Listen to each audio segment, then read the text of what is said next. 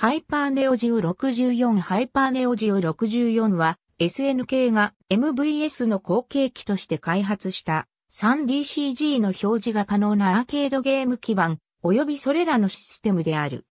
バーチャファイターシリーズや鉄拳シリーズの登場により対戦型格闘ゲームの分野にも 3D の可能性が示され、当時 2D 対戦型格闘ゲームの人気をカプコンと二分していた SNK も 3D を表現できるシステムの開発が急務となる。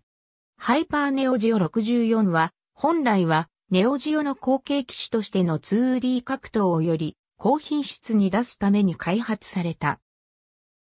しかし、それまでのネオジオでは不可能だった 3D ゲームも作れる性能だったために SNK の上層部が 3D 分野に色気を出してしまい、ネオジオと並行して開発された作品は 3D 表示のものばかりとなってしまった。だがキャラクターを構成しているポリゴンが当時のレベルで見ても荒く、その上動きがスムーズではなく、ゲーム全体の処理も重いものが多かった。これは、もともとが 3D 表示への対応を考慮して開発されたハードウェアではなかったため、不動小数点演算を CPU 上かつソフトウェアで処理していたせいだと言われている。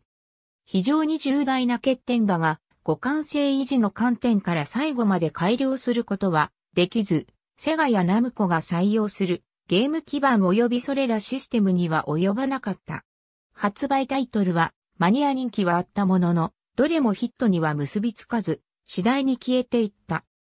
結局のところ、1999年発売の武力、武力1をもってタイトル開発と発売を終了しており、前代のネオジオより先に終焉を迎えることになる。前代のネオジオは2001年の SNK 倒産までタイトル開発と発売が行われ、プレイモアに SNK の全版権が譲渡、受け継ぎされた後も、しばらくの間は主力ハードとして使用され、最終的に2004年までタイトル開発と発売が行われた。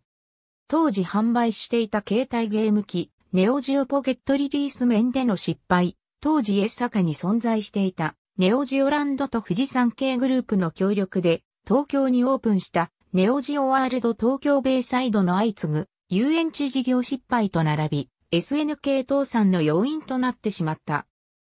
専用筐体を用いた作品を除き、基板とハム用筐体との抱き合わせ販売もあったようで、そのうちの一つのバリエーションであった対戦用ハム用筐体には画面上部に小さな液晶画面とカメラがついていて対面のプレイヤーを常時モニターできるというものがあったが実際に使っている店は少なかったハイパーネオジオ64自体が生産終了になりゲームが発売されなくても筐体のみ他社のゲームが入った状態で稼働していた例もあった。